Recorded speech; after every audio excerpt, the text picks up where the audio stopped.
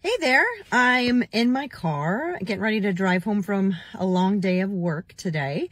Uh, so my weight loss tip for you today is to listen to motivational podcasts.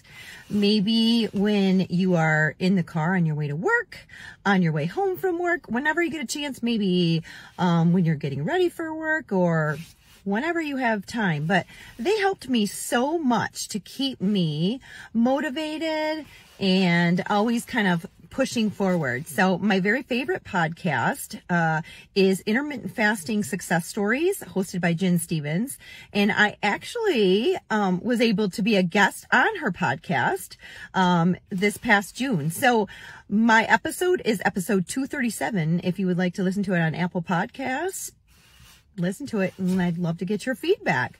So go ahead, listen to some awesome motivational podcasts. They will really help keep you pumped up and ready to keep moving forward with your weight loss journey.